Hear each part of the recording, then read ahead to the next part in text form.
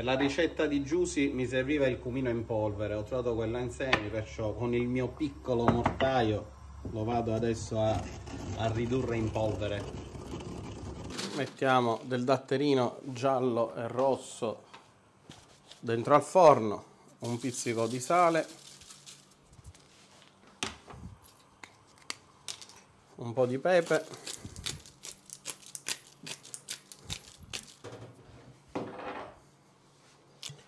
e un po' d'olio di quello buono. Allora, dopo averle lasciato in ammollo per 24 ore, mettiamo le nostre fave secche a cucinare. Aggiungiamo acqua che deve essere il doppio delle fave. Perciò li deve coprire e deve salire per il doppio.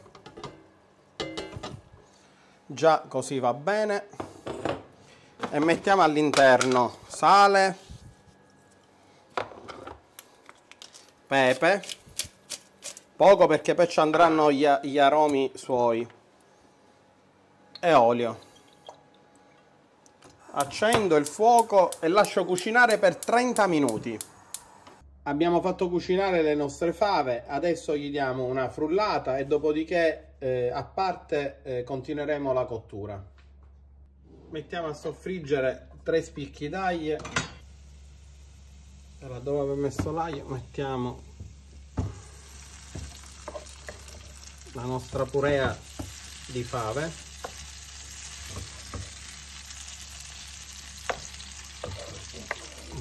Okay.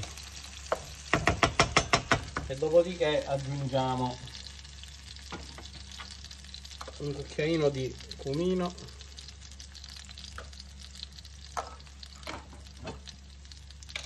pizzico di pepe. E un pizzico di sale e facciamo insaporire. Per almeno 5 minuti. L'abbiamo fatto insaporire adesso mettiamo tutto all'interno di un boccale. Andiamo ad aggiungere i pomodori che abbiamo cucinato nel nostro forno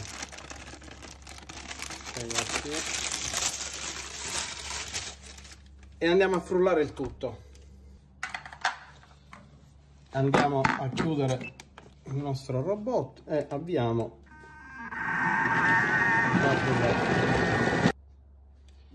il nostro full madammas è pronto mettiamo del prezzemolo fresco un filino d'olio.